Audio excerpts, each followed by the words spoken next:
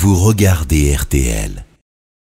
Nous sommes jeudi matin. Bonjour Laurent Gérard. Bonjour Yves. Bonjour Mademoiselle Jade. Bonjour Monsieur Calvi, bonjour tout le monde.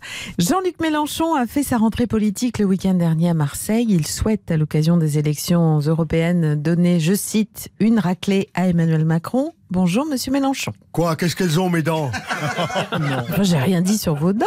C'est ça, c'est ça, la petite racaille de journalistes à la solde du grand capital luxembourgeois. Les Calvi, Martichoux, Louis Baudin et toute la clique. Bon, admettons. Revenons à vos déclarations sur Emmanuel Macron.